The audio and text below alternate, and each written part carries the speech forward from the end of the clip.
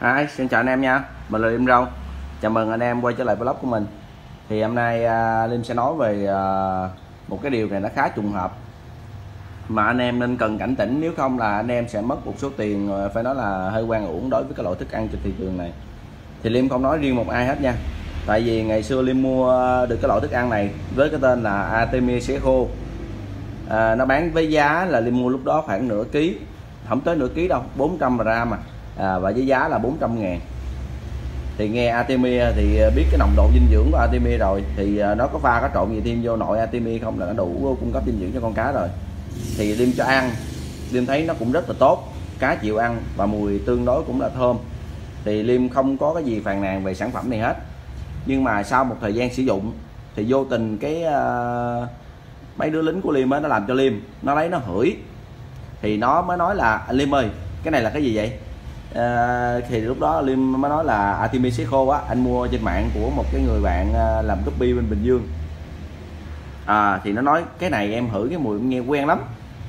À, để để để em về em nhớ lại con nó là cái gì. Thì à, khi nó về nó lấy một cái loại thức ăn của nó đem từ dưới quê lên tại vì ở dưới quê là nhà nó nuôi tôm.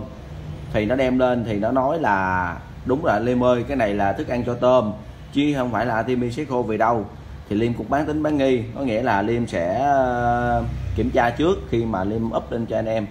Cái này là xác suất á, mà cái gọi là để mà ra một cái ờ, giải phân tích cho anh em á cái kiểu như mà thành phần ờ, hóa học đồ này nọ thì liêm làm không được.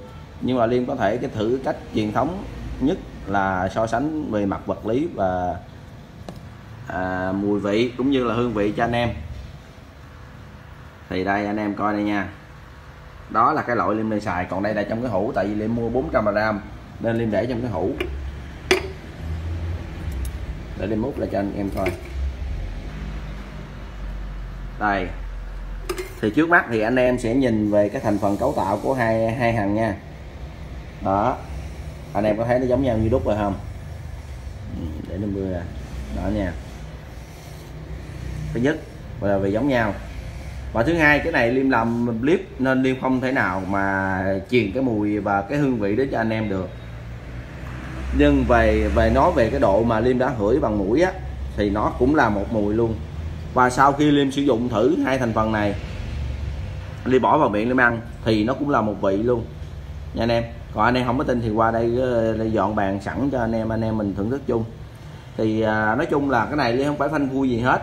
Thì thật sự ra khi thằng cu người làm cho liêm nó đưa thì liêm coi thành phần dinh dưỡng của cái loại cám thức ăn cho tôm này á, thì thành phần dinh dưỡng của nó rất là cao đạm nó trên 40 phần trăm, thì với cái số lượng đạm đó thì cực kỳ tốt cho cá mình cá mình ăn sẽ dễ mập. Thì anh em có biết nói chung là về mặt chất dinh dưỡng thì liêm không có bàn tán về về cái cái loại cám này hoặc là cái loại có cái tên là artemis seco này trên thị trường hết. Liêm không bàn tán gì hết. Tại vì nó tương đối là tốt về thành phần dinh dưỡng, nhưng mà cái giá của nó thì nghe rất là hết hồn. Với cái mức giá mà Liêm mua được 400 à, gram cho 400 ngàn và bây giờ cái giá ở Lazada và những cái chỗ khác nó ờ, bỏ vô hũ nhỏ nó dán bao bì ờ, tự chế vào nó bán với giá là 50 gram cho 50 ngàn. Thì bây giờ vị chi anh em mua một ký này nó nằm tới một triệu bạc. Trong khi đó cái loại thức ăn Liêm mua cho tôm này nếu mà Liêm mua lẻ thì nó chỉ nằm dao động ở khoảng chưa tới 100 ngàn. Nếu uh, tính lưu ship này nọ thì khoảng 100 ngàn một ký. Thì anh em khác không? Từ 100 ngàn thành 1 triệu nó gấp 10 lần cái giá trị thực của nó.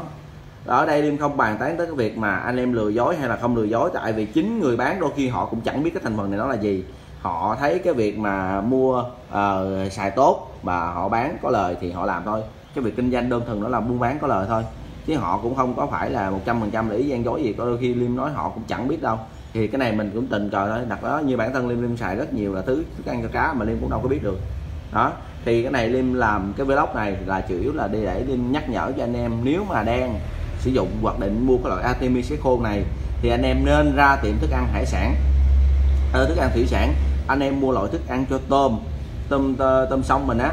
Ờ, tôm mà để họ nuôi ờ, để họ kinh doanh á. Ờ, anh em nói bán cho con một ký thức ăn cho tôm à, loại số 0 đó thì nó y chang luôn không khác bất cứ cái gì về bề ngoài mùi vị và hương thơm á đó. thì anh em về, anh em sẽ tự so sánh được để coi điều liêm nói là đúng hay sai hay sai thôi. Còn anh em biết cái tiêu chí vlog liêm làm lúc nào cũng là để cho anh em có những cái dễ nhất, anh em tiếp cận con cá với tay dễ nhất, và thậm chí là những loài cá khác hay là bên thủy sinh gì cũng được. Nhưng mà liêm biết cái gì thì liêm chia sẻ cái đó để anh em tránh không có bị mất tiền vào bất cứ một cái gì đó quan uổng. Và nói chung là nhiều cái liêm đã chơi ngu trước rồi, thì liêm chỉ cho anh em ra để anh em né những cái lựu đạn đi để anh em khỏi giật chốt. Đó thì à, sau khi liêm thử thì liêm hầu như là nói về kinh nghiệm à, ăn và hít hửi của liêm á. À, ba mươi mấy năm nay thì liêm bảo đảm với anh em hai cái này là một không có cái gì mà trùng hợp đến ngẫu nhiên như vậy. Còn mà anh em kêu à, thành phần hóa học đồ này nọ thì cái đó liêm cũng lại. Liêm làm à, vlog này chứ là để chia sẻ kinh nghiệm cho anh em chứ đâu có ăn uống ăn giọng gì đâu mà đi đem cái này đi xét nghiệm cho chết vợ nó biết là nó quýnh không sưng cái đít nữa thôi. Đó thì anh em đang có ý định mua hoặc đã mua thì anh em chỉ xài hết thôi đừng mua nữa. Và nếu muốn sử dụng tiếp tục thì anh em nên ra tiệm thủy sản. Anh em mua loại thức ăn cho tôm. Nếu giao anh em mua dạng cho cá bột thì anh em xài loại này là loại số 0 anh em về anh em cào vào cái vệt Artemia là cá bột có thể ăn được. Và nếu anh em mua cho cá lớn thì anh em nên mua loại số 1 Liên cũng đã mua thử loại số 1 rồi. À, cái hũ số 1 Liên mua đây. Mới có ờ, sản phẩm thử à.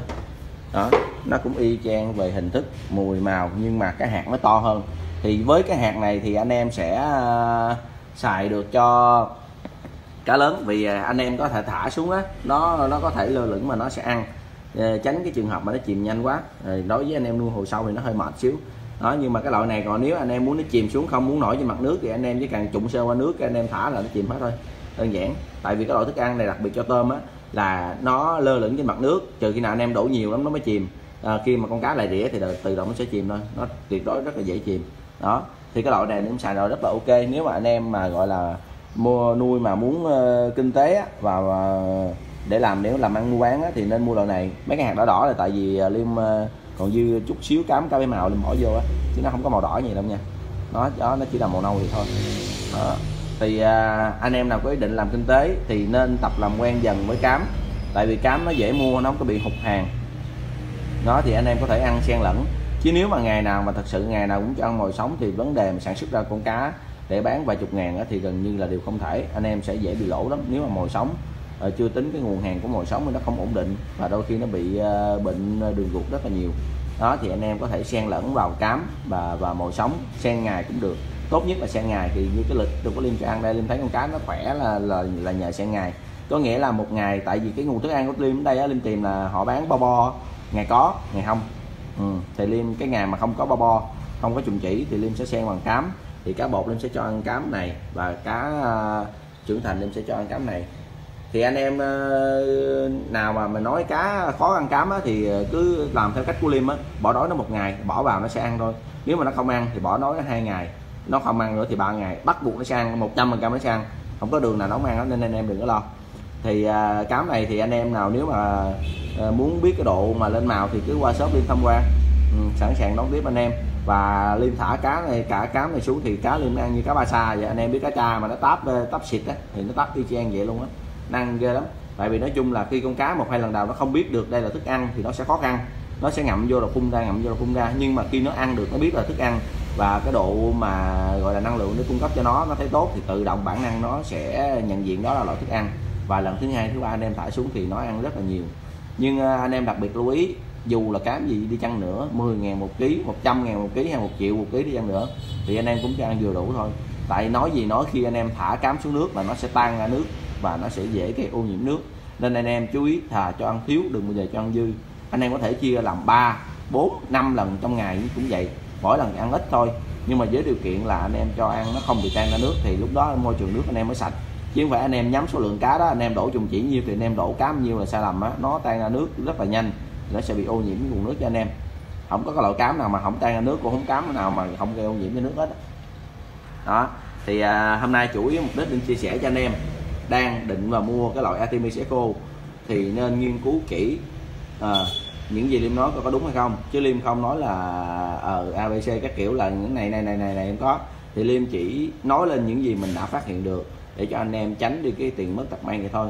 Còn anh em thí dụ như mà có nghe hay là không nghe và anh những anh em đang mua bán cái loại này có muốn đả kích muốn chọi gạch gì thì cũng đó là quyền lợi của anh em.